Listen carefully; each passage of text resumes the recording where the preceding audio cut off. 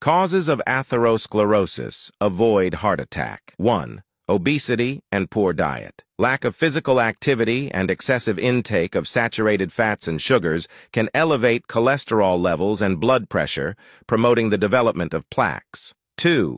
High cholesterol levels in the blood. Low-density lipoprotein, LDL cholesterol, often referred to as bad cholesterol, can accumulate on the arterial walls, initiating plaque formation. Conversely, high-density lipoprotein, HDL cholesterol, known as good cholesterol, helps remove LDL from the bloodstream. 3. Hypertension or high blood pressure is another significant factor. Elevated blood pressure can damage the inner lining of arteries, making them more susceptible to plaque buildup. 4. Diabetes also plays a critical role in the development of atherosclerosis. High blood sugar levels can damage the arteries and contribute to plaque buildup.